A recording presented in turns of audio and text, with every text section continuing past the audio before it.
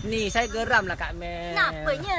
Orang marah-marah saya lah kutuk saya sebab saya beli dua dalam toilet kata orang. Eh, kau orang ni kutuk-kutuk lah. Kau orang tak tahu keadaan sebenar. Kan? Ha.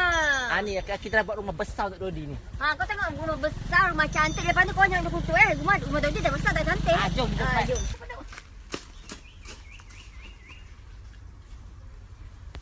Oh besarnya, selesanya. Ah.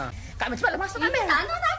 Cepatlah Kak Mel. Ah, nanti jadi kita nanti cakap nanti. Cepat. Tak nak. Dodi.